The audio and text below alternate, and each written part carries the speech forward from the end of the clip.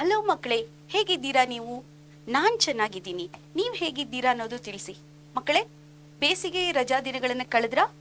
ಹಾಗಿದ್ರೆ ಹೇಗಾಯ್ತು ನಿಮ್ ಬೇಸಿಗೆ ರಜಾ ದಿನಗಳು? ಅದ್ರ ಬಗ್ಗೆ ಕಮೆಂಟ್ ಮಾಡಿ ನನಗೆ ಶೇರ್ ಮಾಡಿ ನಿಮ್ಮ ನಿಮ್ಮ ವ್ಯೂಸ್ ಅನ್ನ ನನಗೆ ಶೇರ್ ಮಾಡಿ. ನೀವು ಹೇಗ್ ಕಳೆದ್ರಿ ಅಂತ ಹೇಳಿ. ಎಲ್ಲರಿಗೂ ಎಕ್ಸೈಟ್ಮೆಂಟ್ ಇದೆಯಾ? ಹತ್ತನೇ ಕ್ಲಾಸಿಗೆ ಹೋಗಿದೀವಿ ಅಂತ ಹೇಳಿ. ಹಾಗಿದ್ರೆ ಹತ್ತನೇ ಕ್ಲಾಸಲ್ಲಿ ನೀವು ಹೇಗೆ ಪ್ರಿಪ್ರೇಷನ್ ಮಾಡಬೇಕು? ಅದ್ರ ಬಗ್ಗೆ ಎಲ್ಲ ಒಂದು ತಯಾರಿಯನ್ನ ಮಾಡ್ಕೊಂಡಿದ್ದೀರಾ ಮಕ್ಕಳೇ? ನಾವು ಇವತ್ತಿನ ದಿನ ಏನ್ ಮಾಡೋಣ ಅಂದ್ರೆ ನಮ್ಮ ಒಂದನೇ ಗದ್ಯ ಭಾಗವಾದಂತ, ಮೊದಲನೇ ಗದ್ಯ ಭಾಗವಾದಂತ ಬಣಮರದ ಗಿಳಿ ಅನ್ನುವಂತ ಒಂದು ಗದ್ಯ ಭಾಗವನ್ನ ನೋಡೋಣ ಮಕ್ಕಳೇ. ಹಾಗಿದ್ರೆ ಮೊದಲನೇದಾಗಿ ಏನನ್ನ ನೋಡ್ಬೇಕು? ಬನ್ನಿ.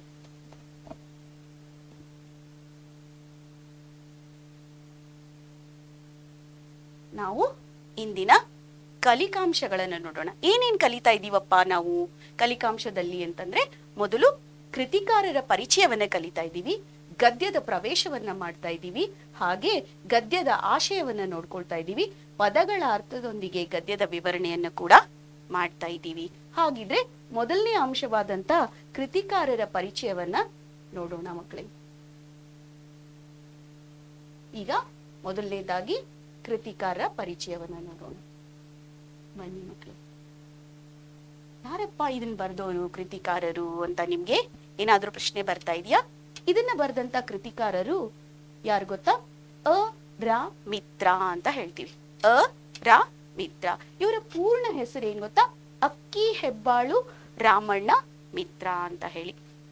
ನಾವು ಅವರನ್ನ ಸಾಮಾನ್ಯವಾಗಿ ಅರ ಮಿತ್ರ ಅವರು ಅಂತ ಕರೆದಿರ್ತೀವಿ. ಇವರ ಪೂರ್ತಿ ಹೆಸರು ಅಕ್ಕಿ, ಹೆಬ್ಬಾಳು, ರಾಮಣ್ಣ, ಮಿತ್ರ ಅಂತ.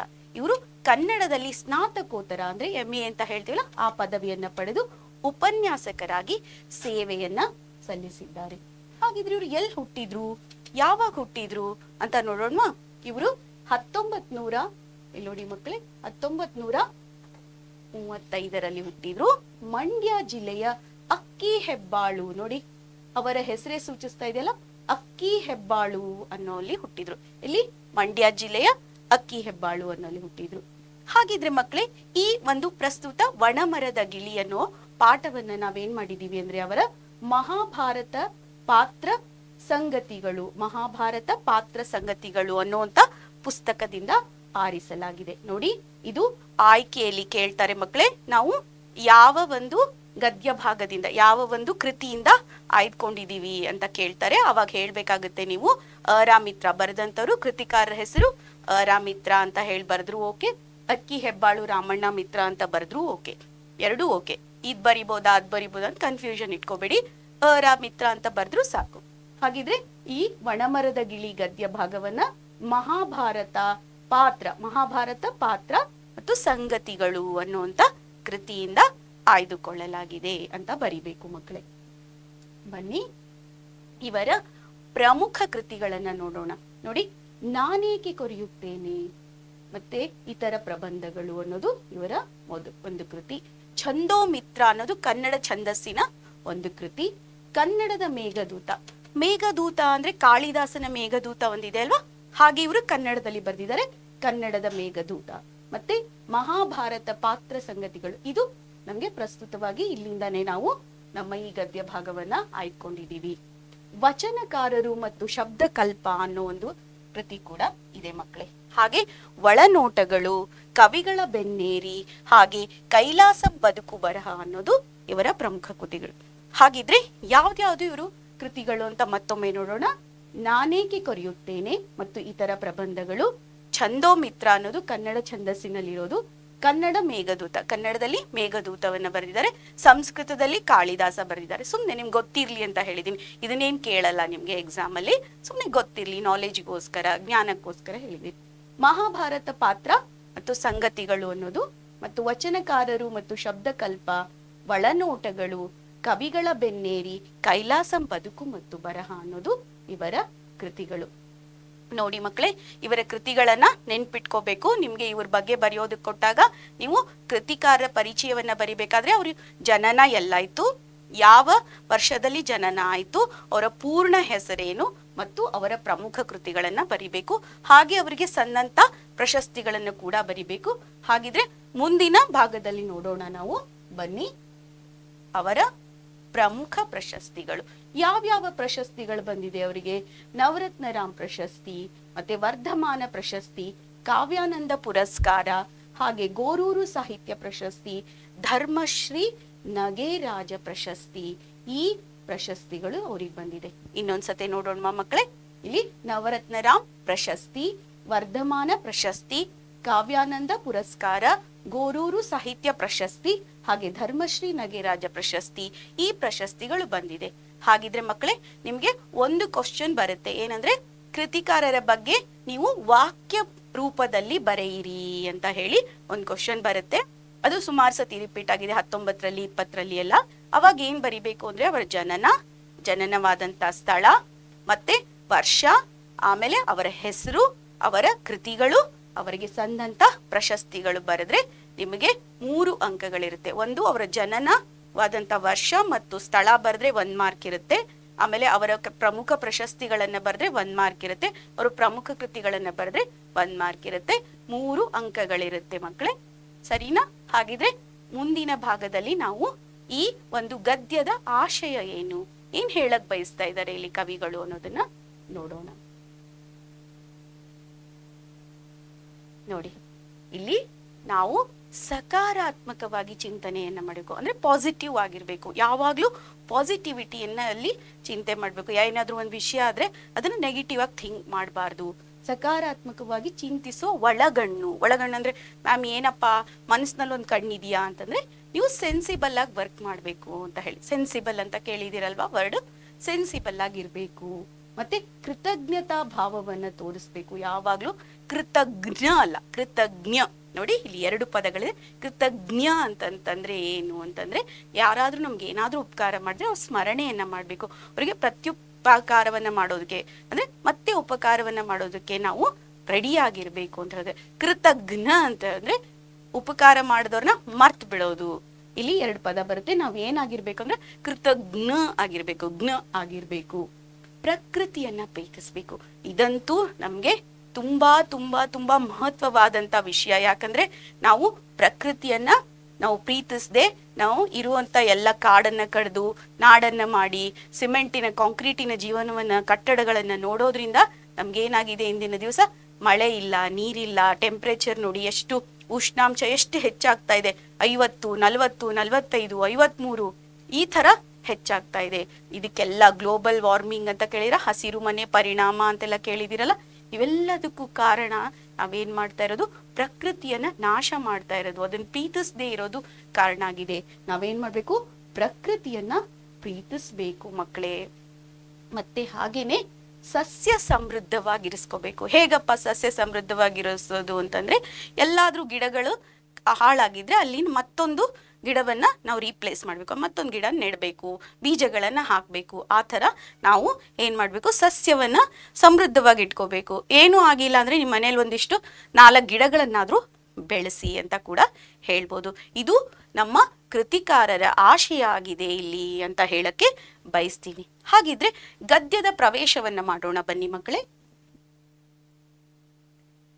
ಗದ್ಯದ ಪ್ರವೇಶ ಅಂತಂದ್ರೆ ಇಲ್ಲಿ ಏನಿದೆಪ್ಪ ಗದ್ಯದ ಪ್ರವೇಶ ಅಂತ ಹೇಳಿದ್ರೆ, ಇಲ್ಲಿ ನಾವು ಸಾಮಾಜಿಕವಾಗಿ ಏನ್ ಮಾಡಬೇಕು ಅಂತ ಹೇಳಿದ್ರೆ ಎಲ್ಲರಲ್ಲಿ ಅವೇರ್ನೆಸ್ ಅನ್ನ ಬಳ ಬೆಳೆಸ್ಬೇಕು. ಅವೇರ್ನೆಸ್ ಬೆಳೆಸೋದು ಅಂತ ಹೇಳಿದ್ರೆ ಏನ್ ಗೊತ್ತಾ? ಸಸ್ಯವನ್ನ ಹಾಳು ಮಾಡಬೇಡಿ. ಆ ಸಸ್ಯಗಳಿಂದ ಪ್ರಾಣಿ, ಪಕ್ಷಿ, ಜೀವಿಗಳೆಲ್ಲ ಇದೆ. ನಾವು ಕೂಡ ಇದ್ದೀವಿ ಅನ್ನೋದನ್ನ ಹೇಳಬೇಕು. ಹಾಗೆ ಕೃತಜ್ಞತಾ ಭಾವವನ್ನ ಬೆಳೆಸ್ಕೋಬೇಕು ಪ್ರಕೃತಿಯೊಂದಿಗೆ ನಾವು ಯಾವಾಗ್ಲೂ. ಅಂದ್ರೆ ಪ್ರಕೃತಿ ನಮ್ಗೆ ಏನನ್ನು ಕೊಡ್ತಾ ಇದೆ ಅಲ್ವಾ? ನಾವು ಅದಕ್ಕೆ ಏನ್ ಮಾಡಬಹುದು ಅಂತ ಹೇಳಿ ಕೃತಜ್ಞತಾ ಭಾವವನ್ನ ಬೆಳೆಸ್ಕೋಬೇಕು. ಹಾಗೆ ಇಲ್ಲಿ ಒಂದು ಗಿಳಿ ಒಂದರ ಕಥೆ ಇದೆ. ಯಾವ ಗಿಳಿ? ಇಲ್ಲಿ ಒಂದು ಗಿಳಿ ಅಂದ್ರೆ ಒಂದು ಪಕ್ಷಿ. ಅದರ ಒಂದು ಕಥೆ ಇದೆ ಅನ್ನೋದನ್ನ ಈ ಗದ್ಯ ಭಾಗದಲ್ಲಿ ಬಂದಿದೆ. ಏನಪ್ಪ ಗಿಳಿ ಮಾಡುತ್ತೆ? ಹೇಗೆ? ಏನು ಅನ್ನೋದನ್ನ ಈ ಭಾಗದಲ್ಲಿ, ನಮ್ಮ ಒಣಮರದ ಗಿಳಿ ಅನ್ನುವಂಥ ಗದ್ಯಾಂಶದಲ್ಲಿ, ಗದ್ಯ ಭಾಗದಲ್ಲಿ ನೋಡೋಣ ಮಕ್ಕಳೇ, ಬನ್ನಿ. ಇಲ್ಲಿ ನೋಡಿ. ಒಬ್ಬ ಬೇಡ ಇದ್ದ. ಯಾರಪ್ಪ ಇವನು? ಬೇಡ. ನಿಮ್ಗೆ ಗೊತ್ತಿದೆ ಅಲ್ವಾ? ಬೇಡ ಅಂದ್ರೆ ಯಾರು ಅಂದ್ರೆ ಹಂಟರ್ ಅಂತ ಹೇಳ್ತೀವಲ್ಲ ಇವನು ಕಾಶಿ ಅನ್ನೋ ನಗರದಲ್ಲಿದ್ದ, ಏನಪ್ಪ ಕಾಶಿ ಅನ್ನೋ ನಗರ ಅಂದ್ರೆ ನಿಮ್ಗೆ ಗೊತ್ತಿದೆ, ಕಾಶಿ ಎಲ್ಲಿದೆ ಗೊತ್ತಲ್ವಾ? ವಾರಣಾಸಿ, ಕಾಶಿ ಅಂತ ಹೇಳ್ತೀವಲ್ವಾ? ಈಗ ತುಂಬಾ ಪ್ರಚಲಿತವಾಗಿದೆ ಅಲ್ವಾ? ಹಾ, ಕಾಶಿ ಅನ್ನೋ ಊರಿನಲ್ಲಿ ಒಬ್ಬ ಬೇಡ ಇದ್ದ, ಅವನು ಏನು ಮಾಡ್ತಾ ಇದ್ದ ಅಂದ್ರೆ ಬೇಟೆಯನ್ನ ಆಡಿ ಬೇಟೆಯನ್ನ ಆಡಿ ತನ್ನ ಜೀವನೋಪಾಯವನ್ನ ಮಾಡ್ತಾ ಇದ್ದ. ಆ ಬೇಡ ಪ್ರಾಣಿಗಳನ್ನ ಕೊಲ್ಲಲಿಕ್ಕೆ ಏನ್ ಮಾಡ್ತಾ ಇದ್ದ ಅಂದ್ರೆ ಬಾಣಗಳಿರುತ್ತಲ್ಲ ಬಾಣಗಳಿರುತ್ತಲ್ಲ, ಈ ತರ ಬಾಣ ಇದೆ ಅಲ್ವಾ ಇಲ್ಲಿ ಕಾಣಿಸ್ತಾ ಇದೆಯಾ? ಈ ಬಾಣಕ್ಕೆ ವಿಷವನ್ನ ಸವರ್ಸ್, ಸವರ್ತಾ ಇದ್ದ. ವಿಷ ಅಂತ ಹೇಳಿದ್ರೆ ಪಾಯ್ಸನ್ ಅಂತ ಹೇಳ್ತೀವಲ್ಲ, ಆ ತರ ವಿಷವನ್ನ ಸವರಿ ಅದನ್ನ ಪ್ರಾಣಿಗಳಿಗೆ ಬಿಡ್ತಾ ಇದ್ದ. ಅದರಿಂದ ಚುಚ್ಚಿ ಪ್ರಾಣಿಗಳು ಏನಾಗ್ತಾ ಇದ್ವು? ಸಾವನ್ನ ಹೊಂದ್ತಾ ಇದ್ವು. ಅದು ವಿಷ ಬಂದ್ರೆ ನಂಜೇರುತ್ತೆ ಅಂತ ಹೇಳ್ತೀವಿ. ಅಂದ್ರೆ ಪಾಯ್ಸನ್ ಆಗುತ್ತೆ. ಅದರಿಂದ ಪ್ರಾಣಿಗಳು ಸಾಯ್ತಾ ಇದ್ವು. ಹೀಗೆ ಅವನು ಪ್ರಾಣಿಗಳನ್ನ ಕೊಲ್ತಾ ಇದ್ದ. ನೀವು ಕೇಳ್ಬೋದು, ಏನ್ ಮೇಡಮ್ ಇದು? ಸರಿನಾ ಅಂತ ಹೇಳಿ. ಏನ್ ಮಾಡೋದು? ಇದು ಹಳೆ ಕಾಲದಲ್ಲಿ ಏನಾಗಿತ್ತು ಅಂದ್ರೆ ಇದೊಂದು ಜೀವನೋಪಾಯ ಆಗಿತ್ತು. ಅವರಿಗೆ ಏನಾಗಿತ್ತು? ಎಲ್ಲ ಕಸಬುಗಳು ಹೇಗಿದೆಯಲ್ಲ ಹಾಗೆ ಬೇಡರು ಕೂಡ ಜೀವನ ಕಸಬನ್ನ ಹೀಗೆ ಮಾಡ್ಕೊಂಡಿದ್ರು. ಆದ್ರೆ ಈಗ ಈ ರೀತಿಯಾದದ್ದು ಯಾವುದೂ ಇಲ್ಲ. ನಿಮ್ಗೆ ಗೊತ್ತಿರಬೇಕು, ಪ್ರಾಣಿಗಳನ್ನ ಕೊಲ್ಲೋ ಹಾಗಿಲ್ಲ. ಇದು ನಮ್ಮ ಕಾನೂನಿದೆ. ಬನ್ನಿ ಮಕ್ಕಳೇ, ಈ ಬೇಡ ಏನ್ ಮಾಡ್ತಿದ್ದ ಅಂದ್ರೆ ಫಸ್ಟು ಅವನು ಬಾಣಗಳಿಗೆ ವಿಷವನ್ನ ಸವರ್ತಾ ಇದ್ದ. ವಿಷವನ್ನ ಸವರಿ ಅದನ್ನ ಬಿಡ್ತಾ ಇದ್ದ. ಆ ಬಾಣವನ್ನ ನಟ್ಟಂತ, ತಾಗಿದಂತ, ಅದು ತಗುಲಿದಂತ ಪ್ರಾಣಿಗಳು ನಂಜೇರಿ ಸಾಯ್ತಾ ಇದ್ವು. ಒಂದಿನ ಏನಾಗುತ್ತೆ? ಈ ಬೇಡ ಏನ್ ಮಾಡ್ತಾ ಇದ್ದಾನೆ ಅಂದ್ರೆ ಅವನ ಕಣ್ಣಿಗೆ ಒಂದು ಜಿಂಕೆ ಬೀಳುತ್ತೆ. ಕಾಣಿಸ್ತಾ ಇದೆಯಾ? ಈ ಜಿಂಕೆ ಅವನ ಕಣ್ಣಿಗೆ ಬೀಳುತ್ತೆ. ಇದಕ್ಕೆ ಬಾಣ ಬಿಡಬೇಕು ಅಂತ ಬೆನ್ನಟ್ಟಿಕೊಂಡು ಹೋಗ್ತಾನೆ. ಹೋಗ್ಬಿಟ್ಟು ಬಾಣವನ್ನ ಬಿಡಕ್ಕೆ ಪ್ರಯತ್ನವನ್ನ ಪಡ್ತಾನೆ. ಆಗ ಜಿಂಕೆ ಹೆಂಗೋ ಮಾಡಿ ಎಸ್ಕೇಪ್ ಆಗಿಬಿಡುತ್ತೆ, ತಪ್ಪಿಸ್ಕೊಂಡು ಹೋಗ್ಬಿಡುತ್ತೆ. ಆದ್ರೆ ಆ ಬಾಣ ಹೋಗಿ ಏನಾಗುತ್ತೆ? ಒಂದು ಮರಕ್ಕೆ ತಗುಲುತ್ತೆ. ಹಾಗಿದ್ರೆ ಆ ಮರಕ್ಕೆ ತಗಲಿದ್ರೆ ಏನಾಗುತ್ತೆ? ಈ ಪ್ರಾಣಿಗಳಿಗೆ ಹೆಂಗ್ ನಂಜೇರ್ತಿತ್ತಲ್ವಾ ಈಗ ನೀವು ಗೊತ್ತಿರಬೇಕು. ಯಾವಾಗಲೂ ಕೂಡ ನಾವೇನು ಮರ ಕೂಡ ಒಂದು ಜೀವಿ ಅಂತಲೇ ನಾವು ಭಾವಿಸ್ತೀವಲ್ವಾ? ಅದಕ್ಕೂ ಪ್ರಾಣ ಇದೆ ಅಂತ ಹೇಳ್ತೀವಲ್ವಾ? ಅದಕ್ಕೂ ನಂಜು ಸೇರಿ ಅದು ಒಣ ಆಗ್ಬಿಡುತ್ತೆ. ಅದು ತನ್ನ ಎಲ್ಲ ಫಲ ಪುಷ್ಪಗಳನ್ನೆಲ್ಲ ಕಳ್ಕೊಳ್ಳುತ್ತೆ. ಹಾಗಿದ್ರೆ ಈ ಒಂದು ಗದ್ಯಾಂಶದಲ್ಲಿ ಬಂದಂತ ಕೆಲವೊಂದು ಪದಗಳನ್ನ ಹೇಳ್ತಾ ಇದ್ದೀನಿ. ಇಲ್ಲಿ ನೋಡಿ, ಆಶ್ಚರ್ಯ ಮತ್ತು ಅಚ್ಚರಿ ಅಂತ ಇದೆ. ಹೌದಾ? ಆಶ್ಚರ್ಯ ಅನ್ನೋದು ತತ್ಸಮ, ಅಚ್ಚರಿ ಅನ್ನೋದು ತದ್ಭವ. ನೋಡಿ ಮಕ್ಕಳೇ, ನಾವು ಸಂಸ್ಕೃತದಿಂದ ಪ್ರಭಾವಿತ ಆಗಿದ್ದೀವಿ. ಕನ್ನಡ ಏನಾಗಿದೆ? ಸಂಸ್ಕೃತದಿಂದ ಪ್ರಭಾವವನ್ನ ಪಡೆದಿದೆ. ನಾವು ಸಂಸ್ಕೃತದ ಪದಗಳನ್ನು ಅಲ್ಲಿ ಹೆಂಗಿತ್ತೋ ಹಾಗೆ ಆಸ್ ಇಟ್ ಈಸ್ ತಗೊಂಡ್ರೆ ಅಲ್ಲಿದ್ದದನ್ನ ಹಾಗೇನೇ ನಮ್ಮ ಕನ್ನಡದಲ್ಲಿ ಬಳಸಿದ್ರೆ ಅದನ್ನ ತತ್ಸಮ ಅಂತ ಹೇಳ್ತೀವಿ. ಅದೇ ಏನಾದರೂ ಆ ಪದ ನಾವು ಅಲ್ಪ ಸ್ವಲ್ಪ ಬದಲಾವಣೆಯನ್ನ ಮಾಡಿ ಬಳಸಿದ್ರೆ ಅದನ್ನ ತದ್ಭವ ಅಂತ ಹೇಳ್ತೀವಿ. ಇಲ್ಲಿ ನಾವು ಆಶ್ಚರ್ಯ ಅನ್ನೋದು ಅಲ್ಲಿ ಹೆಂಗಿತ್ತೋ ಹಂಗೆ ತಗೊಂಡಿವಿ. ಅದಕ್ಕೆ ಅದನ್ನ ತತ್ಸಮ. ಅಚ್ಚರಿ ಅಂತಂದ್ರೆ ಅದನ್ನ ಸ್ವಲ್ಪ ನಾವು ಬದಲಾವಣೆ ಮಾಡಿದೀವಿ. ಕನ್ನಡಕ್ಕೆ ಬಂದಾಗ ಸ್ವಲ್ಪ ಬದಲಾವಣೆಯನ್ನು ಮಾಡಿದೀವಿ. ಅದಕ್ಕೆ ಅದನ್ನ ಅಚ್ಚರಿ ಅಂತ ಹೇಳಿದ್ವಿ. ಇಲ್ಲಿ ಕಳಕಳಿಸು ಅಥವಾ ನಳ ನಳಿಸು ಇವೆಲ್ಲ ಪದಗಳು ಬರುತ್ತೆ. ಕಳಕಳಿಸು ನೋಡಿ ಕಳಕಳಿಸು ಅನ್ನೋ ಪದ ಏನಾಗಿದೆ? ಮನೋಹರವಾಗಿರು, ಪ್ರಕಾಶಿಸು, ಹೊಳೆ ಈ ತರ ಪದ ಇದಕ್ಕೆ ಅರ್ಥ ಬರುತ್ತೆ. ಹಾಗೆ ಮತ್ತೆ ಗಳಿಗೆ ಅಂತ ಬಂತು. ಗಳಿಗೆ ಗಳಿಗೆ ಬಟ್ಟಲು ಅಂತ ಕೇಳಿದಿರಲ್ವಾ ಗಳಿಗೆ ಅಂದ್ರೆ ಒಂದು ಕ್ಷಣ ಅಂತ ಹೇಳ್ತೀವಲ್ವಾ ಅದು. ಅಲ್ಲಿಂದ ಸೇಮ್ ಟು ಸೇಮ್ ಬಂದ್ರೆ ತತ್ಸಮ, ಅದಕ್ಕೆ ನಾವು ತದ್ಭವ ಘಟಿಕಾ ಅಂತ ಹೇಳ್ತೀವಿ. ದುರ್ಭರ ಅಂತಂದ್ರೆ ಆಗದೆ ಇರೋದು ಧುರಿಸಲಾರದ್ದು ಅಂತ ಹೇಳ್ತೀವಿ. ಧರಿಸಲಾರದ್ದು, ಹೊರಲಾಗದ್ದು ಅಂತ ಹೇಳೋದಕ್ಕೆ ದುರ್ಭರವಾದ ದುರ್ಭರವಾದ ಸ್ಥಿತಿ ಅಂತ ಎಲ್ಲ ಹೇಳ್ತೀವಲ್ವಾ ಅದು. ಮತ್ತೆ ನಂಜು ಅಂದ್ರೆ ವಿಷ ಪಾಯ್ಸನ್ ಅಂತ ಹೇಳ್ತೀವಲ್ಲ ಅದು ಮಕ್ಕಳೇ. ಹಾಗಿದ್ರೆ ಬನ್ನಿ ಮುಂದಿನ ಭಾಗಕ್ಕೆ ಹೋಗೋಣ ಮಕ್ಕಳೇ. ಇಲ್ಲಿ ಎರಡು ಪ್ರಶ್ನೆಗಳಿದೆ. ಇಲ್ಲಿ ನೋಡಿ ಪ್ರಶ್ನೆಗಳಿದೆ. ಮೊದಲನೇದು, ಬೇಡನು ಪ್ರಾಣಿಗಳನ್ನು ಕೊಲ್ಲಲು ಏನು ಮಾಡುತ್ತಿದ್ದ? ನನಗೆ ಕಮೆಂಟ್ ಬಾಕ್ಸ್ ಅಲ್ಲಿ ಹೇಳ್ತೀರಾ ಮಕ್ಕಳೇ? ಬೇಡ ಏನ್ ಮಾಡ್ತಿದ್ದ? ಪ್ರಾಣಿಗಳನ್ನ ಕೊಲ್ಲಲು ಏನ್ ಮಾಡ್ತಾ ಇದ್ದಪ್ಪ? ಅವನು ಬೇಡನು ಪ್ರಾಣಿಗಳನ್ನು ಕೊಲ್ಲಲು ಬಾಣಕ್ಕೆ ವಿಷ ಹಚ್ತಾ ಇದ್ದ. ಬಾಣಕ್ಕೆ ವಿಷವನ್ನ ಸವರ್ತಾ ಇದ್ದ ಹಚ್ತಾ ಇದ್ದ ಅಂತ ಬರೆದ್ರೆ ಆಯ್ತು. ವಿಷದ ಬಾಣವು ಮರಕ್ಕೆ ಏಕೆ ತಗುಲಿತು?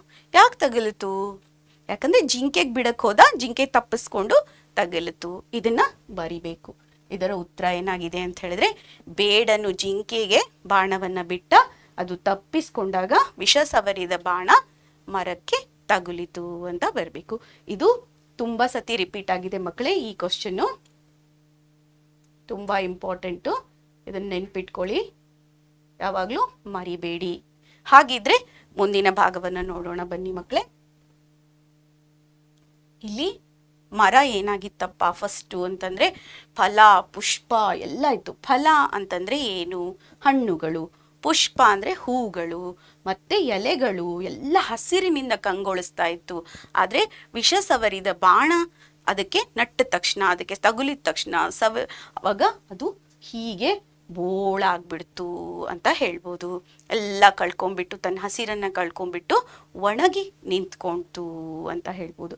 ಅಲ್ಲಿ ಒಂದು ಒಂದು ಗಿಳಿ ವಾಸವಾಗಿತ್ತು. ನೋಡಿ, ಗಿಳಿ ಮತ್ತು ಗಿಣಿ ಎರಡು ಒಂದೇ. ಈ ತರ ಎರಡು ಪದಗಳನ್ನ ಬಳಸ್ತೀವಿ. ಗಿಳಿ ಅನ್ನೋದು ಗ್ರಾಂಥಿಕ ಪದ, ಇದನ್ನ ಗ್ರಾಂಥಿಕ ಪದ ಆದ್ರೆ ಇದು ಗ್ರಾಮ್ಯ ಪದ ಅಂತ ಕೂಡ ಹೇಳ್ತೀವಿ.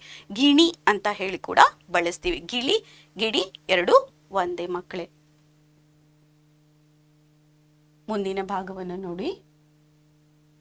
ಇಲ್ಲೇನಾಗ್ತಿತ್ತು ಅಂದರೆ ಅಲ್ಲೊಂದು ಚಿಕ್ಕದಾದ ಏನಾಗಿತ್ತು ಅಂತ ಹೇಳಿದೆ ನಾನು ಅಲ್ಲಿ ಒಂದು ಗಿಳಿ ವಾಸವಾಗಿತ್ತಲ್ವಾ? ಆ ಗಿಳಿ ವಾಸವಾಗಿರೋದನ್ನ ಅಲ್ಲಿ ಸಂಚರಿಸ್ತಾ ಇದ್ದಂತ, ಅಲ್ಲೇ ಹೋಗ್ತಾ ಇದ್ದಂತ ಇಂದ್ರ ನೋಡ್ದ. ಇಂದ್ರ ಏನ್ ಮಾಡ್ದ? ನೋಡ್ದ. ನೋಡ್ಬಿಟ್ಟು ಅವನಿಗೆ ಆಶ್ಚರ್ಯ ಆಯ್ತು. ಯಾಕಪ್ಪ ಈ ಗಿಳಿ ಇಲ್ಲಿದೆ? ನೋಡಿ ಇಷ್ಟು ಒಣಗ್ ಹೋಗಿದೆ ಏನೂ ಇಲ್ಲ ಇದರಲ್ಲಿ. ಹಣ್ಣಿಲ್ಲ, ಹೂವಿಲ್ಲ, ಏನು ಎಲೆಗಳಿಲ್ಲ, ಏನೂ ಇಲ್ಲ. ಯಾಕಿದೆ ಅಂತ ಹೇಳಿ ಅವನಿಗೆ ಆಶ್ಚರ್ಯ ಆಯಿತು ಅಂತ ಹೇಳ್ತಾ ಇದ್ದಾರೆ. ಆವಾಗ ಅವನು ಏನು ಮಾಡ್ತಾನೆ ನೋಡೋಣ. ಮುಂದಿನ ಭಾಗದಲ್ಲಿ ನೋಡೋಣ ಬನ್ನಿ ಮಕ್ಕಳೇ. ಇಲ್ಲಿ ಆ ಗಿಳಿಗೆ ಅವನು ಕೇಳ್ತಾನೆ. ಇಲ್ಲಿ ಆ ಗಿಳಿಗೆ ಅವನು ಕೇಳ್ತಾನೆ. ಏನಪ್ಪಾ ಅಂತ ಹೇಳಿದ್ರೆ, ಯಾಕೆ ನೀನ್ ಇಲ್ಲಿದೀಯಾ ಇದೆಲ್ಲ ಒಣಗೋಗಿದೆ ಯಾಕೆ ಇಲ್ಲಿದೀಯಾ ಅಂತ ಅವಾಗ ಗಿಳಿ ಹೇಳುತ್ತೆ, ನೋಡು, ನಾನು ಈ ಮರ ಚೆನ್ನಾಗಿದ್ದಾಗ ನಂಗೆ ಹೂ ಕೊಟ್ಟಿದೆ ಹಣ್ಣು ಕೊಟ್ಟಿದೆ, ಹಸಿರಿನಿಂದ ಕಂಗೊಳಿಸೋದ್ರಿಂದ ನನಗೆ ತುಂಬ ಸಂತೋಷ ಕೊಟ್ಟಿದೆ, ನನ್ನ ಮನಸ್ಸಿಗೆ ಮುದವನ್ನು ಕೊಟ್ಟಿದೆ. ಅಂಥ ಮರವನ್ನು ಈಗ ಅದಕ್ಕೆ ಪಾಪ ರೋಗ ತಗ್ಲಿ ಈ ಥರ ಆಗಿದೆ, ಒಣಗೋಗಿದೆ ಅಂತ ಹೇಳಿದ ತಕ್ಷಣ ನಾನು ಬಿಟ್ಟು ಹೋಗೋಕ್ಕಾಗುತ್ತಾ? ನಾನು ಹೆಂಗೆ ಕೃತಜ್ಞನಾಗಲಿ ಅಂತ ಹೇಳ್ತೆ. ಕೃತಜ್ಞ, ಇಲ್ಲಿ ಕೃತಜ್ಞ ಅಂತಂದರೆ ಉಪಕಾರವನ್ನು ಸ್ಮರಿಸದೇ ಇರುವಂಥದ್ದು ಕೃತಜ್ಞ ಮತ್ತು ಕೃತಜ್ಞ, ಇವೆರಡು ಅಪೋಸಿಟ್ ವರ್ಡ್ಸ್ ಇವೆರಡು ಏನು? ವಿರುದ್ಧಾರ್ಥಕ ಪದಗಳು. ಅವಾಗ ಇಲ್ಲಿ ನೋಡಿ ಇಲ್ಲಿದೆ. ಕೃತಜ್ಞ ಅಂದರೆ ಉಪಕಾರವನ್ನ ಸ್ಮರಿಸದೇ ಇರುವಂಥವ್ರು ನಾನು ಹೆಂಗಾಗ್ಲಿ ಅಂತ ಹೇಳಿ, ಗಿಳಿ ಕೇಳತ್ತೆ. ಆವಾಗ ಇಂದ್ರ ಹೇಳ್ತಾನೆ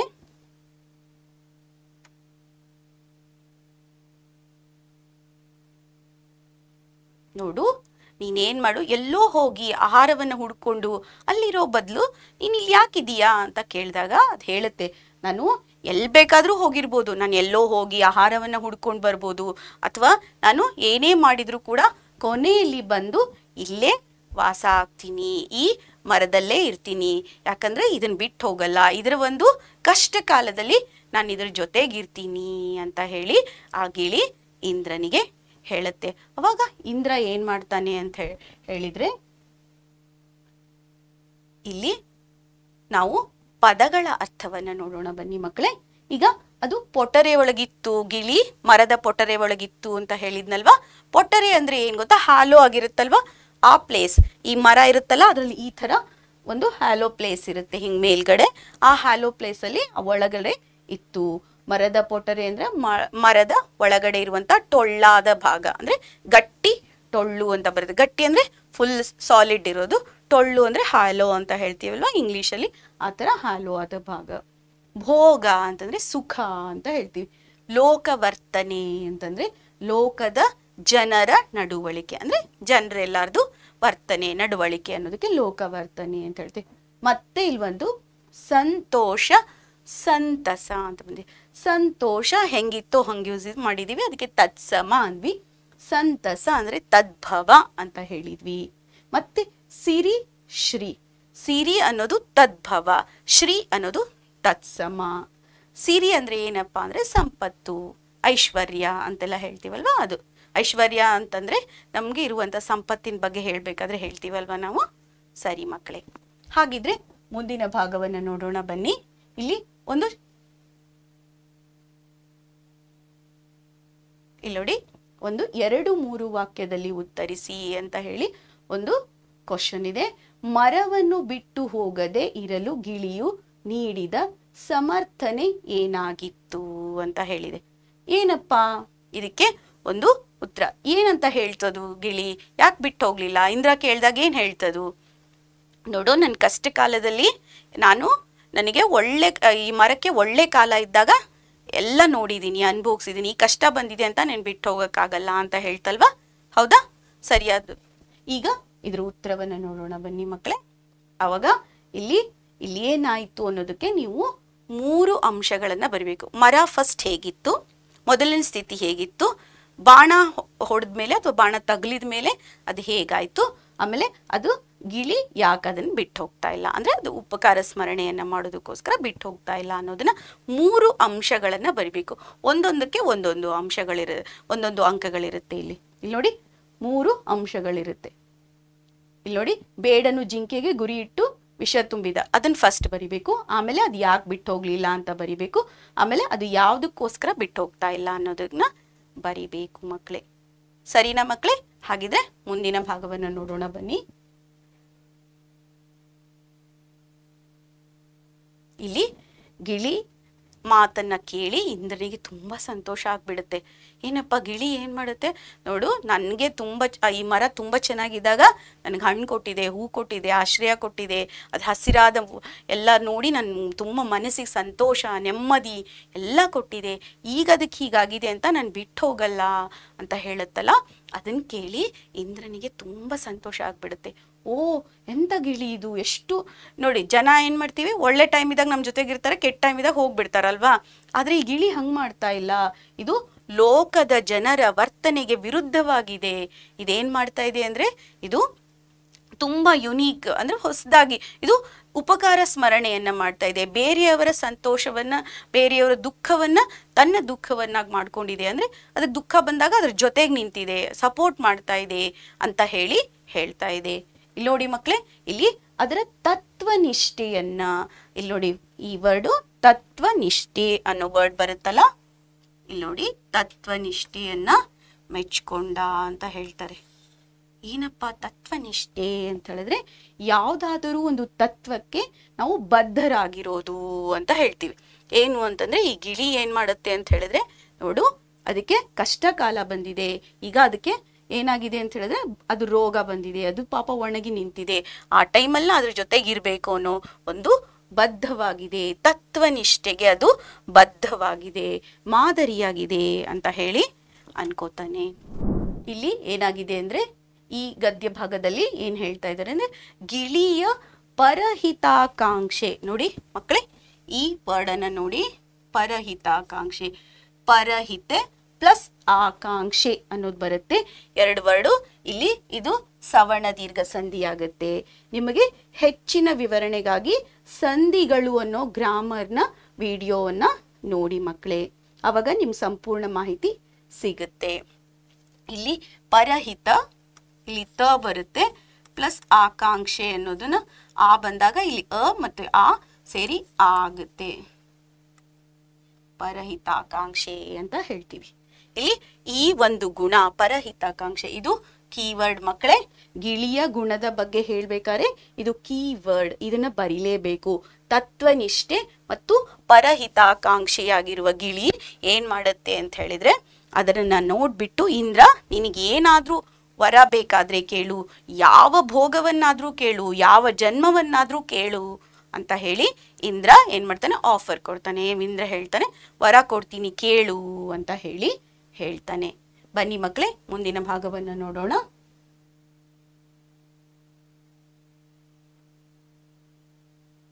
ಇಲ್ಲಿ ಅವಾಗ ಅದು ಗಿಳಿ ಏನ್ ಮಾಡುತ್ತೆ ಅಂತ ಹೇಳಿದ್ರೆ, ನೋಡು, ಇಂದ್ರ, ಅಂದ್ರೆ ದೇವರಾಜ. ದೇವರಿಗೆ ರಾಜ ಅಲ್ವಾ? ಇಂದ್ರ ಯಾವಾಗ್ಲೂ ಅವನು ದೇವರಾಜ ನೀ ವರ ಏನಾದ್ರೂ ಕೊಡೋ ಇಷ್ಟ ಇದ್ರೆ, ಇಚ್ಛೆ ಇದ್ರೆ, ಇಚ್ಛೆ ಅಂದ್ರೆ ಇಷ್ಟ ಇದ್ರೆ, ನಿಂಗೆ ಮನಸ್ಸಿದ್ರೆ, ನೀನೇನ್ ಮಾಡು ಅಂತಂದ್ರೆ, ಈ ಮರ ಮತ್ತೆ ನಳನಳಿಸು. ನೋಡಿ, ನಳನಳಿಸು. ಕಳಕಳಿಸು ಅಂತಿತ್ತಲ್ವಾ? ಇಲ್ಲಿ ನಳನಳಿಸು ಅಂತ ಬಂದಿದೆ. ನಳನಳಿಸು ಅಂದ್ರೆ ಮತ್ತೆ ಫಲ, ಪುಷ್, ಪುಷ್ಪ ಎಲ್ಲದ್ರಿಂದ ಭಾರದಿಂದ ಬೀಗೋದು ಅಂದ್ರೆ ಜಾಸ್ತಿ ಆಗೋದು. ಆ ಥರ ಆಗುವಂತ ವರವನ್ನ ನೀನ್ ಪಾಲಿಸು ಅಂತ ಹೇಳಿ ಅಲ್ಲಿ ಏನ್ ಮಾಡುತ್ತೆ? ಗಿಳಿ ದೇವರಾಜ ಇಂದ್ರನಿಗೆ ಕೇಳುತ್ತೆ. ದೇವರಾಜ ಇಂದ್ರ ನೋಡಪ್ಪ, ನೀನೇನಾದ್ರೂ ನಿಂಗೆ ವರ ಕೊಡೋ ಇಷ್ಟ ಇದ್ರೆ, ನಿಂಗೆ ವರ ಕೊಡುವ ಇಚ್ಛೆ ಇದ್ರೆ, ನೀನೇನ್ ಮಾಡು ಅಂತಂದ್ರೆ, ಈ ಮರ ಮೊದಲಿನ ತರ ಆಗೋ ಥರ ಮತ್ತೆ ಎಲ್ಲ ಫಲ ಪುಷ್ಪಗಳು, ಅಂದ್ರೆ ಫಲ ಅಂತ ಹೇಳಿದ್ರೆ ಹಣ್ಣು, ಪುಷ್ಪ ಅಂದ್ರೆ ಹೂವು, ಎಲೆ, ಎಲ್ಲದ್ರಿಂದ ಭಾರದಿಂದ ಬೀಗೋದು, ಅಂದ್ರೆ ಜಾಸ್ತಿ ಆಗೋ ಥರ ನೀ ವರವನ್ನ ಕೊಡು. ಯಾಕಂದ್ರೆ ಈ ಮರದ ಅವಸ್ಥೆ ಅವಸ್ಥೆ ಅಂದ್ರೆ ಸ್ಥಿತಿ. ಆ ಅವಸ್ಥೆಯನ್ನ ನಂಗೆ ನೋಡೋಕೆ ಆಗ್ತಾ ಇಲ್ಲ. ನಂಗೆ ಈ ಮರದ ಅವಸ್ಥೆನ ನೋಡಕ್ಕೆ ಆಗ್ತಾ ಇಲ್ಲ. ಕೊಡೋದಾದ್ರೆ ಕೊಡು ಅಂತ ಕೇಳುತ್ತೆ. ಅವಾಗ ಇಂದ್ರನಿಗೆ ತುಂಬ ಸಂತೋಷ ಆಗುತ್ತೆ. ಆಮೇಲೆ ಮುಂದಿನ ಭಾಗದಲ್ಲಿ ಏನಾಗುತ್ತೆ? ಮರ ಮತ್ತೆ ಮೊದಲಿನ ತರ ಆಗುತ್ತೆ ಅಂತ ಬರುತ್ತೆ. ಇದಿಷ್ಟು ನಮಗೆ ಗದ್ಯವನ್ನ ಕೊಟ್ಟಿದ್ದಾರೆ. ಯಾರು? ರಾಮಿತ್ರ ಅವರು. ಯಾವ ಒಂದು ಕೃತಿಯಲ್ಲಿ ಬರೆದಿದ್ದಾರೆ ಇದು? ಮಹಾಭಾರತ ಮತ್, ಪಾತ್ರ ಮತ್ತು ಸಂಗತಿಗಳು. ಮಹಾಭಾರತ ಪಾತ್ರ ಸಂಗತಿಗಳು ಅನ್ನೋದಲ್ಲಿ ಈ ಗಿಳಿಯ ಪರಹಿತಾಕಾಂಕ್ಷೆ ಅಂದ್ರೆ ಇನ್ನೊಬ್ಬರ ಬಗ್ಗೆ ಹಿತವನ್ನ ಕೋರುವಂತ ಆಕಾಂಕ್ಷೆ ಇರುವಂತ ಮತ್ತು ತತ್ವನಿಷ್ಠೆ. ತತ್ವನಿಷ್ಠೆ ಅಂದ್ರೆ ಯಾವುದಾದ್ರೂ ಒಂದು ಇದಕ್ಕೆ ಬದ್ಧವಾಗಿರೋದು ಅಂತ ತತ್ವನಿಷ್ಠೆ ಉಳ್ಳ ಗಿಳಿಯ ಕಥೆಯನ್ನ ನಮ್ಗೆ ಆರಾಮಿತ್ರ ಅವರು ಕೊಟ್ಟಿದ್ದಾರೆ. ಬನ್ನಿ ಮಕ್ಕಳೇ, ಮುಂದಿನ ಭಾಗದಲ್ಲಿ ನೋಡೋಣ. ಬನ್ನಿ ಮಕ್ಕಳೇ, ಈಗ ಪದಗಳ ಅರ್ಥ ಮತ್ತು ವ್ಯಾಕರಣಾಂಶವನ್ನ ನೋಡೋಣ. ಇಲ್ಲಿ ಏನಾಗಿದೆ? ಮತ್ತೊಂದು ಸ್ವಲ್ಪ ತತ್ಸಮ ತದ್ಭವಗಳಿದೆ ನೋಡಿ. ಆಶ್ರಯ ಅನ್ನೋದು ತತ್ಸಮ ಆದ್ರೆ ಆಸರೆ ಅನ್ನೋದು ತದ್ಭವ. ಆಶ್ರಯ, ಆಸರೆ. ಆಸರೆ ಅಥವಾ ಆಶ್ರಯ ಅಂತಂದ್ರೆ ಅವಲಂಬನೆಯಾಗಿರೋದು ಅಂತ ಹೇಳ್ತೀವಿ. ಮತ್ತೆ ಹೇಳಿದ್ದೆ ಕೃತಜ್ಞ ಅನ್ನೋದನ್ನ. ಪದೇ ಪದೇ ಹೇಳ್ತಾ ಇದ್ದೀನಿ. ಕೃತಜ್ಞ ಮತ್ತು ಕೃತಜ್ಞ ಇವೆರಡು ಪದಗಳ ಬಗ್ಗೆ ಅರಿವಿರ್ಬೇಕು ನಿಮಗೆ. ಉಪಕಾರ ಸ್ಮರಣೆ ಇಲ್ಲದವನಿಗೆ ಕೃತಜ್ಞ ಅಂತೀವಿ. ಇರುವವನಿಗೆ ಕೃತಜ್ಞ ಅಂತೀವಿ. ಜ್ಞ. ಓಕೆ ತತ್ವನಿಷ್ಠೆ. ಇವಾಗಲೇ ಹೇಳಿದ್ದೆ, ತತ್ವನಿಷ್ಠೆ ಅಂದರೆ ನಾವು ನಂಬಿದಂಥ ವಿಚಾರಗಳಿಗೆ ಬದ್ಧನಾಗಿರೋದು ಅಂತ ಹೇಳೋದಕ್ಕೆ, ಶ್ರದ್ಧೆ ತೋರೋದು ಅಂತ ಹೇಳೋದಕ್ಕೆ ಈ ಪದವನ್ನ, ತತ್ವನಿಷ್ಠೆಯನ್ನ ಬಳಸ್ತೀವಿ ಮಕ್ಕಳೇ ಬನ್ನಿ, ಮುಂದಿನ ಭಾಗದಲ್ಲಿ ನೋಡೋಣ. ಬೀಗು. ಬೀಗು ಅಂದ್ರೆ ಉಬ್ಬೋದು, ಹಿಗ್ಗೋದು ಅಂತ ಹೇಳ್ತೀವಿ. ಬೀಗೋದು ಅಂದ್ರೆ ಉಬ್ಬು, ಹಿಗ್ಗು ಅಂತ ಹೇಳ್ತೀವಿ. ಸಂತೋಷ ಪಡು ಅನ್ನೋದಕ್ಕೂ ಬೀಗೋದು ಅಂತ ಹೇಳ್ತೀವಿ. ಅಲ್ವಾ ಮಕ್ಕಳೇ? ಆಮೇಲೆ ಮುದ ಮುದ ಅಂತ ಹೇಳಿದ್ರೆ ಸಂತೋಷ, ಆನಂದ ಅಂತ ಹೇಳ್ತೀವಿ. ವರ ಅಂದ್ರೆ ಕೊಡುಗೆ ಅಂತ ಹೇಳ್ತೀವಿ. ಸಮೃದ್ಧಿ ಅಂತಂದ್ರೆ ಸಂಪನ್ನವಾಗೋದು, ಏಳಿಗೆಯನ್ನ ಹೊಂದೋದು ಅನ್ನೋದಕ್ಕೆ ಸಮೃದ್ಧಿ ಅಂತ ಹೇಳ್ತೀವಿ. ಹಸಿರನ್ನ ನಾವು ಸಮೃದ್ಧಿಯ ಸಂಕೇತವಾಗಿ ಬಳಸ್ತೀವಲ್ವಾ ಮಕ್ಕಳೇ? ಬನ್ನಿ ಮುಂದಿನ ಭಾಗವನ್ನ ನೋಡೋಣ. ಇಲ್ಲಿ ಎರಡು ಒಂದು ವಾಕ್ಯದಲ್ಲಿ ಪ್ರಶ್ನೆಗಳಿದೆ. ಮೊದಲನೇದ್ದು ಇಲ್ಲಿ ವಿಷದ ಬಾಣವು ಮರಕ್ಕೆ ತಗುಲಿದ್ದರಿಂದ ಆದ ಪರಿಣಾಮ ಏನು? ಅದೇನಾಗುತ್ತೆ? ಮರ ಒಣಗುತ್ತಲ್ವಾ? ಆ ಒಂದು ಉತ್ತರವನ್ನು ನೋಡಿ. ವಿಷದ ಬಾಣ ಮರಗೆ, ಮರಕ್ಕೆ ತಗುಲಿದ್ರಿಂದ ಅದರ ಫಲಪುಷ್ಪಗಳು, ಹಸಿರು ಎಲ್ಲ ಮಾಯ ಆಯಿತು ಅದು ಒಣಗಿತು ಅಂತ ಹೇಳಿ ಹೇಳ್ಬೋದು. ನೆಕ್ಸ್ಟ್ ನಾಲ್ಕನೇ ಕ್ವಶನ್ ಇದು ನಿಮ್ಮ ಅಭ್ಯಾಸ ಭಾಗದಲ್ಲಿದೆ ಇವೆಲ್ಲ ಪ್ರಶ್ನೆಗಳು. ಗಿಳಿಯನ್ನು ಕಂಡು ಇಂದ್ರನಿಗೆ ಆಶ್ಚರ್ಯವಾದದ್ದು ಯಾಕೆ? ಯಾಕೆ ಆಶ್ಚರ್ಯ ಆಯ್ತು ಮಕ್ಕಳೇ? ಬನ್ನಿ, ಇದರ ಒಂದು ಉತ್ತರವನ್ನು ನೋಡೋಣ. ಇಲ್ಲಿ, ಅದು ಎಲ್ಲ ಒಣಗ್ ಹೋಗಿದ್ರು ಕೂಡ ಈ ಗಿಣಿ ಇದೆ ಅಲ್ಲ, ಗಿಣಿ. ಹೇಳಿದ್ನಲ್ಲ ಮಕ್ಕಳೇ, ಗಿಣಿ ಮತ್ತೆ ಗಿಳಿ, ಎರಡು ಕನ್ಫ್ಯೂಸ್ ಮಾಡ್ಕೋಬೇಡಿ, ಎರಡನ್ನು ಹೇಳ್ತಾರೆ. ನೀವು ಏನ್ ಬರಿಬೇಕು ಮೇಡಮ್ ಅಂತ ಕೇಳ್ಬೋದು. ಗಿಣಿ ಬರೆದ್ರು ಓಕೆ ಗಿಳಿ ಬರೆದ್ರು ಓಕೆ ಎರಡಕ್ಕೂ ಮಾರ್ಕ್ಸ್ ಕೊಡ್ತಾರೆ. ಇಲ್ಲಿ ಅದು ಬೇರೆ ಕಡೆ ಹೋಗದೆ ಅಲ್ಲೇ ಇತ್ತಲ್ವಾ? ಅದನ್ನ ನೋಡಿ ಇಂದ್ರನಿಗೆ ಆಶ್ಚರ್ಯ ಆಯ್ತು ಅಂತ ಹೇಳ್ಬೋದು. ಬನ್ನಿ ಮಕ್ಕಳೇ, ಮುಂದಿನ ಭಾಗವನ್ನು ನೋಡೋಣ. ಇಲ್ಲಿ ಐದನೇ ಪ್ರಶ್ನೆ ಇದೆ. ಇದು ಕೂಡ ಒಂದು ವಾಕ್ಯದಲ್ಲಿ ನಿಮ್ಮ ಎಕ್ಸಸೈಸ್ ನಿಮ್ಮ ಪಾಠದ ಕೊನೆಯ ಭಾಗದಲ್ಲಿ ಇದೆ ಇದೆಲ್ಲ ಇದೆ. ಗಿಳಿಯ ಯಾವ ಗುಣವನ್ನು ಇಂದ್ರನು ಮೆಚ್ಚಿಕೊಂಡ? ಯಾವ ಗುಣ? ನಾನೇನೋ ಹೇಳಿದ್ನಲ್ಲ, ಕೀವರ್ಡ್ ಅಂತ ಹೇಳಿದ್ನಲ್ಲ? ಪರ ಹಿತಾಕಾಂಕ್ಷೆ ಮತ್ತು ತತ್ವನಿಷ್ಠೆ ಇವೆರಡು ವರ್ಡನ್ನ ನೆನ್ಪಿಟ್ಕೊಳ್ಳಿ ಮಕ್ಕಳೇ. ಅದನ್ನ ಬರಿಬೇಕು. ನೋಡಿ, ಉಪಕಾರ ಸ್ಮರಣೆ ಮತ್ತೆ ಪರಹಿತಾಕಾಂಕ್ಷೆ. ಉಪಕಾರ ಸ್ಮರಣೆ ಅನ್ನೋದನ್ನ ನೀವು ಏನ್ ಮಾಡ್ಬೋದು ಅಂತ ಹೇಳಿದ್ರೆ ಕೃತಜ್ಞ ಅಂತ ಕೂಡ ಬರಿಬಹುದು. ಇದನ್ನೇ ಬರಿಬೇಕು ಅಂತೇನಿಲ್ಲ, ನಿಮ್ಗೆ ನಿಮ್ಮ ವಾಕ್ಯದಲ್ಲಿ ಬರಿಬಹುದು ಉಪಕಾರ ಸ್ಮರಣೆ ಮತ್ತು ಪರಹಿತಾಕಾಂಕ್ಷೆಯ ಗುಣವನ್ನ ಇಲ್ಲಿ ಇಂದ್ರ ಮೆಚ್ಚಿಕೊಂಡ. ಇಂದ್ರನು ತನಗಾದ ಸಂತೋಷವನ್ನು ಯಾವ ರೀತಿ ಪ್ರಕಟಿಸಿದನು? ಯಾವ ರೀತಿ ಹೇಳ್ದ? ನಂಗೆ ವರ ಕೊಡ್ತೀನಿ ಅಂತ ಹೇಳಿದ್ನಲ್ವಾ? ಅದನ್ನ ಬರಿಬೇಕಿಲ್ಲಿ. ಇಲ್ಲಿ ನೋಡಿ, ಇಂದ್ರನ ಆ ಗಿಳಿಯ ಗುಣವನ್ನ ಕಂಡು ನಿಂಗೆ ಯಾವ ಜನ್ಮ ಆದ್ರೂ ಕೊಡ್ತೀನಿ, ಯಾವ ಭೋಗವನ್ನಾದ್ರೂ ಕೊಡ್ತೀನಿ, ವರ ಕೊಡ್ತೀನಿ ಅಂತ ಹೇಳಿದ್ನಲ್ಲ, ಆ ಒಂದು ಇಲ್ಲಿ ಉತ್ತರವನ್ನ ಇಲ್ಲಿ ಬರಿಬೇಕು ಮಕ್ಕಳೇ ಸರಿನಾ? ಇಷ್ಟವರೆಗೂ ಏನಾದರೂ ಡೌಟ್ ಇದ್ರೆ ಮತ್ತೆ ಕಮೆಂಟ್ ಸೆಕ್ಷನಲ್ಲಿ ತಿಳಿಸಿ ಮಕ್ಕಳೇ ನನಗೆ. ಇಲ್ಲಿ ನೋಡಿ, ಈಗ ಮೂರು, ನಾಲ್ಕು ವಾಕ್ಯದ್ದು ಒಂದು ಹೇಳಿದ್ನಲ್ಲ, ಈಗ ಎರಡನೇ ಕ್ವಶನ್ ಸಾಮಾನ್ಯವಾದ ಲೋಕವರ್ತನೆ ಯಾವುದು? ಸಾಮಾನ್ಯವಾದದ್ದು ಯಾವುದು ಲೋಕವರ್ತನೆ ಅಂತಂದ್ರೆ? ಇದಕ್ಕೆ ಆನ್ಸರ್ ಅನ್ನ ಬರಿಬೇಕು, ಹೀಗೆ ಉತ್ತರ ಹೀಗಿರುತ್ತೆ. ಈ ವರ್ತನೆಯಲ್ಲಿ ಯಾವ್ದಿತ್ತು? ನೋಡಿ ಇಲ್ಲಿ, ಪಕ್ಷಿಗಳು ಬೇರೆ ಕಡೆ ಹೋಗ್ತವೆ. ಅಂದ್ರೆ ಒಣಗೋದ್ರೆ ಮರ ಎಲ್ಲ ಒಣಗೋದ್ರೆ ಬೇರೆ ಕಡೆ ಹೋಗ್ತವೆ ಅನ್ನೋದು ಸಾಮಾನ್ಯವಾದ. ಆದ್ರೆ ಇಲ್ಲಿ ಗಿಳಿ ಏನ್ ಮಾಡಿತ್ತು? ಆದ್ರೂ ತನ್ನ ತತ್ವನಿಷ್ಠೆಗೆ ಬದ್ಧನಾಗಿ ಅಲ್ಲೇ ಇತ್ತು ಅನ್ನೋದನ್ನ ಬರಿಬೇಕು. ಬನ್ನಿ ಮಕ್ಕಳೇ, ಮುಂದಿನ ಪ್ರಶ್ನೆಯನ್ನ ನೋಡೋಣ. ಗಿಣಿಯು ಕೇಳಿದ ವರ ಯಾವುದು? ನೋಡಿ, ಇಂದ್ರ ನಿನಗೆ ಯಾವ್ದಾರು ಭೋಗವನ್ನಾದ್ರೂ ಕೊಡ್ತೀನಿ, ಯಾವುದೇ ರೀತಿಯ ಜನ್ಮವನ್ನಾದ್ರೂ ಕೊಡ್ತೀನಿ ಅಂತ ಹೇಳ್ದ. ಆದ್ರೆ ಗಿಳಿ ಏನ್ ಮಾಡ್ತು? ಗಿಣಿ ಏನ್ ಮಾಡ್ತು ಅಂದ್ರೆ ತಾನು ಏನ್ ಮಾಡ್ತು? ಈ ಮರ ಮೊದಲಿನ ತರ ಆಗೋ ತರ ವರ ಕೊಡು ಅಂತ ಕೇಳ್ತಲ್ವಾ?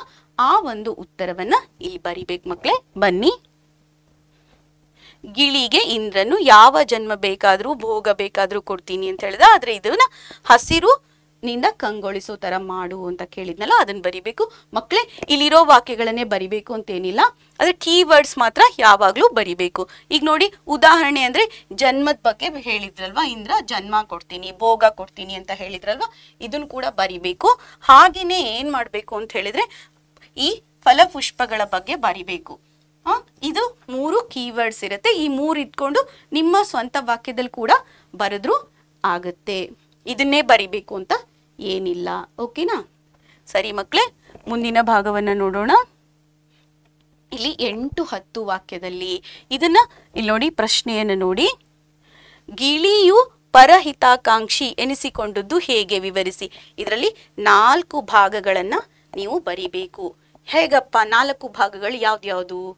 ಮೊದಲನೇದೇನು? ಅದು ಯಾಕೆ ಮರದ ಜೊತೆಗಿತ್ತು ಅನ್ನೋದ್ರ ಬಗ್ಗೆ ಬರಿಬೇಕು. ಆಮೇಲೆ ಮ ಫಸ್ಟ್ ಮರ ಹೇಗಿತ್ತು ಅಂತ ಅನ್ನೋದನ್ನ ಬರಿಬೇಕು. ಆಮೇಲೆ ಮರ ಹೀಗಾದ್ಮೇಲೂ ಅದು ಯಾಕೆ ಬಿಟ್ಟು ಹೋಗ್ಲಿಲ್ಲ ಅಂತ ಹೇಳಿ ಬರಿಬೇಕು. ಆಮೇಲೆ ಅದು ಬಿಟ್ಟು ಹೋದಕ್ಕೆ ಅದು ಬಿಟ್ಟು ಹೋಗದೆ ಇರೋದಕ್ಕೆ ಆದರೆ ಏನು ಕಾರಣ ಅಂತ ಅನ್ನೋದು ನಾಲ್ಕು ಭಾಗಗಳಾಗಿ ಬರಿಬೇಕು. ಬನ್ನಿ ಮಕ್ಕಳೇ ಇಲ್ಲಿ ನಿಮಗೆ ಆನ್ಸರನ್ನು ತೋರಿಸ್ತಾ ಇದ್ದೀನಿ. ಫಸ್ಟು ಮರಸ್ಥಿತಿ ಹೀಗಾಗೋ ಕಾರಣ ಏನು ಅಂತ ಬರೆದಿದೆ. ಆಮೇಲೆ ಅದು ಎಲ್ಲ ಹಸಿರನ್ನ ಕಳ್ಕೊಂಡ್ಮೇಲೆ ಗಿಳಿ ಯಾಕೆ ಬಿಟ್ಟು ಹೋಗಲಿಲ್ಲ ಅಂತ ಬರೆದಿದೆ. ಹೌದಾ? ನೋಡಿ ಮಕ್ಕಳೇ ಆಮೇಲೆ ಅದರ ಗುಣವನ್ನ ಕೂಡ ಇಲ್ಲಿ ಬರೆದಿದೆ. ನೋಡಿದ್ರ? ಈ ಗುಣ, ಇದೆಲ್ಲ ಇದು ಕೀವರ್ಡ್ಸ್ ಅಂತ ಹೇಳ್ತೀವಿ ನಾವು. ಇದೆಲ್ಲ ಇರಬೇಕು ಮಕ್ಕಳೇ ಈ ನಾಲ್ಕು ಅಂಶಗಳು ಇಲ್ಲಿ ಎಂಟು ಹತ್ತು ವಾಕ್ಯದಲ್ಲಿ ಇರಬೇಕು. ಸರಿನಾ? ಹಾಗಿದ್ರೆ ಮುಂದಿನ ಭಾಗವನ್ನು ನೋಡೋಣ ಬನ್ನಿ ಮಕ್ಕಳೇ ಇಲ್ಲಿ ಇನ್ನೊಂದು ಎಂಟು ಹತ್ತು ವಾಕ್ಯದಲ್ಲಿ ಇದೆ. ಗಿಳಿಯ ವರ್ತನೆಯಿಂದ ಮಾನವನು ಕಲಿಯಬೇಕಾದ ಗುಣಗಳೇನು ಅಂತ ಇದೆ. ಇದನ್ನ ನಿಮ್ಮ ಸ್ವಂತ ವಾಕ್ಯದಲ್ಲೇ ಬರೀರಿ ಮಕ್ಕಳೇ. ಇದಕ್ಕೇನು ಇದೇ ತರ ಬರಿಬೇಕು ಅಂತೇನಿಲ್ಲ. ನಿಮ್ಗೆ ಏನ್ ಅನ್ಸುತ್ತೆ ಗಿಳಿ ವರ್ತನೆಯಿಂದ ಹೇಳಿ ನನಗೆ. ನೀವು ಕಮೆಂಟ್ ಮಾಡಿ. ಆ ವರ್ತನೆಯನ್ನ ಬರೆದ್ರೆ ಆಯಿತು. ಗಿಳಿ ಬಗ್ಗೆ, ಗಿಳಿಯನ್ನ ನೋಡಿ ನಾವು ತಿಳ್ಕೊಳ್ಳೋಂಥದ್ದೇನಿದೆ ಅಂತ ಹೇಳಿ ಬರೆದ್ರೆ ಆಯಿತು ಮಕ್ಕಳೇ. ಸರಿ, ಇದಕ್ಕೆ ಉತ್ತರವನ್ನ ನೋಡಿ ಮಕ್ಕಳೇ, ಈ, ಇದು ನಾನು ಕೊಟ್ಟಂತ ಉತ್ತರ, ಆದ್ರೆ ಇದನ್ನೇ ಬರಿಬೇಕು ಅಂತೇನಿಲ್ಲ, ನಿಮಗೆ ಹೇಗೆ ಅನ್ಸುತ್ತೋ ಹಾಗೆ ಬರೆದ್ರು ಆಯ್ತು. ಆದ್ರೆ ಇದು ನಿಮಗೆ ಏನಂದ್ರೆ ಅದರಲ್ಲಿರುವಂಥ ಒಳ್ಳೆ ಗುಣಗಳು ಏನು, ನಿಮಗೇನು ಇಷ್ಟ ಆಯ್ತು, ನೀವೇನು ತಿಳ್ಕೊಬೇಕಂತ ಬಯಸಿದ್ರಿ, ಈ ಒಂದು ಗದ್ಯಾಂಶದಿಂದ ನಿಮಗೇನು ಅರ್ಥ ಆಯ್ತು, ನೀವೇನು ಟೇಕ್ ಹೋಮ್ ಮಾಡಿದ್ರಿ, ನೀವೇನು ಕಲ್ತ್ರಿ ಅನ್ನೋದನ್ನ ಈ ಒಂದು ಆನ್ಸರಲ್ಲಿ ಈ ಒಂದು ಉತ್ತರದಲ್ಲಿ ಬರಿಬೇಕು ಮಕ್ಕಳೇ. ಸರಿನಾ? ಬನ್ನಿ, ಮುಂದಿನ ಭಾಗವನ್ನು ನೋಡೋಣ. ಇಲ್ಲಿ ಸಂದರ್ಭ ಸಹಿತ ವಿವರಿಸಿ ಅಂತ ಇದೆ. ನಿಮಗೆ ಸಂದರ್ಭ ಲಾಸ್ಟ್ ಇಯರ್ ಕೂಡ ಬಂದಿತ್ತು. ಸಂದರ್ಭವನ್ನ ಕೊಟ್ಟಾಗ ಮೊದಲು ಆಯ್ಕೆಯನ್ನು ಬರಿಬೇಕು. ಆಯ್ಕೆ ಏನಪ್ಪ? ಯಾರು ಬರ್ದಿದ್ದಾರೆ ಇದನ್ನ ಅಂತ ಹೇಳಿ ಬರಿಬೇಕು. ಫಸ್ಟು ಯಾರು ಬರೆದ್ರು? ಅರಾಮಿತ್ರ ಅವರು. ಹೌದಾ? ಯಾವ ಗದ್ಯಾಂಶ? ನೀವು ಮಹಾಭಾರತ ಸಂಗತಿ, ಪಾತ್ರ ಮತ್ತು ಸಂಗತಿಗಳು. ಅದನ್ನ ಬರಿಬೇಕು. ಆಮೇಲೆ ಯಾವ ಒಂದು ಗದ್ಯದಿಂದ ತಗೊಂಡಿದೀವಿ? ಫಸ್ಟು ಕೃತಿ, ಕೃತಿಕಾರರು, ಯಾವ ಕೃತಿಯಿಂದ ಆಯ್ದುಕೊಂಡಿದೀವಿ? ಮತ್ತೆ ಗದ್ಯ ಭಾಗ. ಈ ಮೂರನ್ನ ಬರಿಬೇಕು. ಓಕೆನಾ? ರಾಮಿತ್ರ ಅವರು ಮತ್ತೆ ಯಾವ ಕೃತಿಯಿಂದ ಆಯ್ದುಕೊಂಡಿದೀವಿ? ಆಮೇಲೆ ಒಣಮರದ ಗಿಳಿ ಗದ್ಯ ಭಾಗವನ್ನ ಅದನ್ನ ಮೆನ್ಷನ್ ಮಾಡಬೇಕು. ಈ ಮೂರು ಇದ್ದರೆ ಒಂದು ಅಂಕ ಬರುತ್ತೆ. ಓಕೆ ಆಯ್ಕೆ ನೋಡಿ ಒಂದು ಅಂಕ ಬಂತು. ಸಂದರ್ಭ ಯಾವ ಸಂದರ್ಭದಲ್ಲಿ ಹೇಳ್ತು? ಇಂಥ ಒಣಮರದಲ್ಲಿ ಏಕೆ ವಾಸ ಮಾಡುತ್ತಿದ್ದಿ? ಯಾರು ಹೇಳಿದ್ರು? ಅಂತ ಹೇಳಿ ಬರಿಬೇಕು. ಇಂದ್ರ ಹೇಳಿದ್ನಲ್ವಾ? ಇಂದ್ರ ಕೇಳಿದ್ನಲ್ವಾ ಇದನ್ನ? ಕ್ವಶನ್ ಅದನ್ನ ವಿವರಿಸ್ಬೇಕು. ಆಮೇಲೆ ಹೇಗೆ ಸ್ವಾರಸ್ಯಪೂರ್ಣವಾಗಿದೆ ಅಂದ್ರೆ ಜನರು ಏನಾದರೂ ಕಷ್ಟ ಬಂದ್ರೆ ಬಿಟ್ಟು ಹೋಗ್ಬಿಡ್ತಾರೆ. ನೀನ್ ಯಾಕೆ ಹಿಂಗಿದೀಯಾ ಅಂತ ಹೇಳಿ ಈ ಒಂದು ವರ್ತನೆಯನ್ನ ಏನ್ ಮಾಡಿದ್ರೆ ಸ್ವಾರಸ್ಯಪೂರ್ಣವಾಗಿ ಇಲ್ಲಿ ವ್ಯಕ್ತವಾಗಿದೆ ಅಂತ ಹೇಳಿ ಬರಿಬೇಕು. ಸ್ವಾರಸ್ಯಪೂರ್ಣವಾಗಿ ಹೇಳಿದ್ದಾರೆ ಅನ್ನೋದನ್ನ ಬರಿಬೇಕು. ಈ ಮೂರು ಅಂಶಗಳಿದ್ರೆ ಆಯ್ಕೆಗೆ ಒಂದು ಅಂಕ, ಸಂದರ್ಭಕ್ಕೆ ಒಂದು ಅಂಕ ಮತ್ತು ಸ್ವಾರಸ್ಯಕ್ಕೆ ಒಂದು ಅಂಕ ಇರುತ್ತೆ. ಮಕ್ಕಳೇ ಇದು ಮೂರು ಅಂಕದ ಪ್ರಶ್ನೆಯಾಗಿರುತ್ತೆ.